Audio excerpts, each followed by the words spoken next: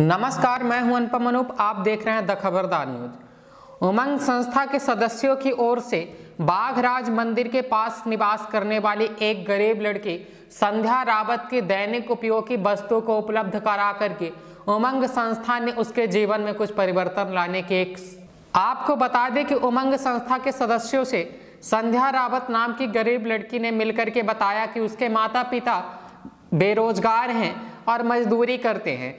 वह पढ़ना तो चाहती है, लेकिन इसके बावजूद साधन संसाधन नहीं होने की वजह से वह पढ़ नहीं पा रही है।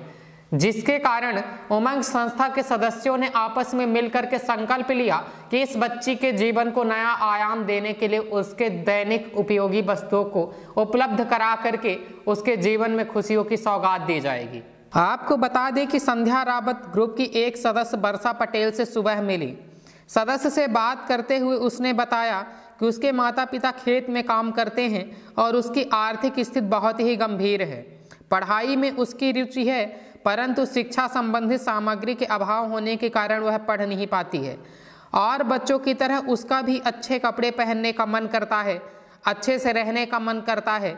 ये बात जानकर ग्रुप के सदस्य ने ग्रुप के अन्य सदस्यों से बातचीत की और सभी ने यह संकल्प लिया कि उस बच्ची के जीवन के सुधार के लिए उमंग संस्था के द्वारा प्रयास किया जाएगा। और सभी सदस्यों ने सहयोग करके बच्ची को नए कपड़े, शिक्षा से संबंधित सामग्री उपलब्ध कराई।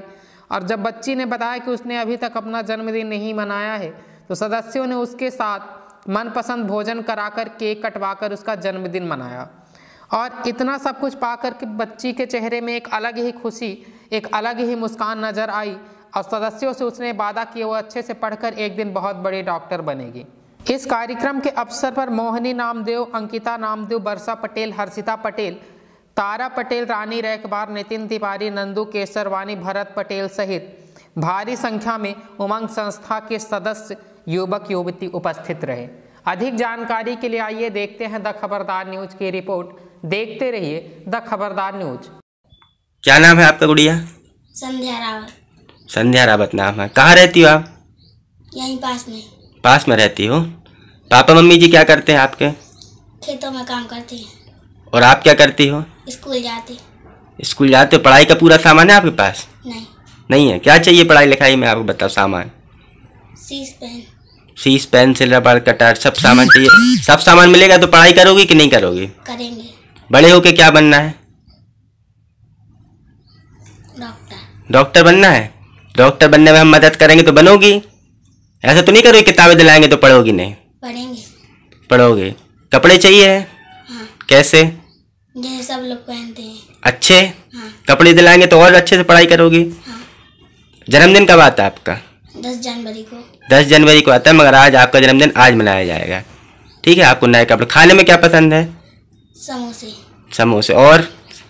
और चाट फूल की बस। चाट फुली तो आज आपको आपके मनपसंद कपड़े दिलाए जाएँगे। पूरा पढ़ाई लिखाई का सामान दिलाया जाएगा और मनपसंद खाना खिलाया जाएगा आपको सिविल लाइन ले जाके। ठीक है? क्या खाना है सबसे पहले आपको?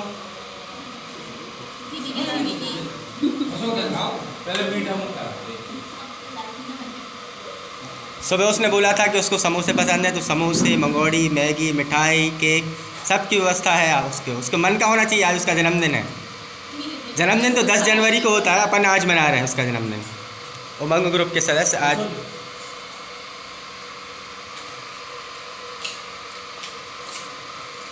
देखो एक और दीदी आ गई हैं। हेलो बोलो।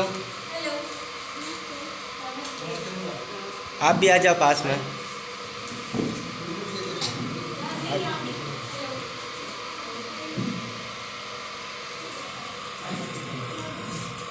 खिला दे रहा हूँ खिलाओ उसको। आप प्लीज़ आइए ना। पास में कर लो चलो, आप रानी, थोड़ा सा किस कर लो खबरदार हिंदी न्यूज़ चैनल के साथ जुड़े रहने के लिए द खबरदार हिंदी न्यूज़ चैनल को लाइक करें, शेयर करें, सब्सक्राइब करें और अगर आप ये वीडियो फेसबुक पर देख रहे हैं तो फेसबुक पेज को लाइक करें। धन्यवाद।